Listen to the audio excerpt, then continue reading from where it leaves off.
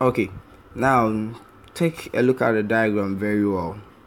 Uh, looking at cap 1 cap 1 has an outlet to cap 2 and then 3 and then cap 3 has an outlet to cap 4 and 5 and then cap 2 has an outlet to cap 6 and 7 considering cap 3 cap 3 has an outlet which uh, links has a pipe straight to cap 5 and a straight to cap 4 but there is one thing you have to look at very well before you conclude saying cap 4 will get filled first.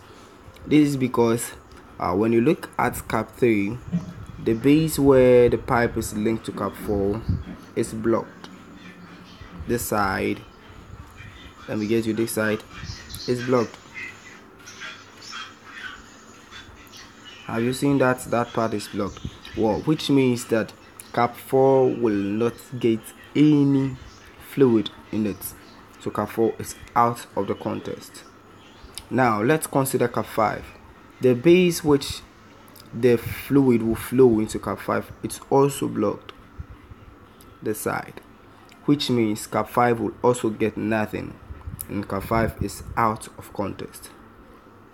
Now let's consider the other side taking it from cap 2 cap 2 has a link to cap 6 and then cap 7 looking at cap 6 the point is also blocked.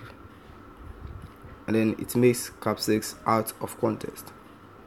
Cap 7 has a hole beneath it at the base and it's also never going to be full it's out of contest.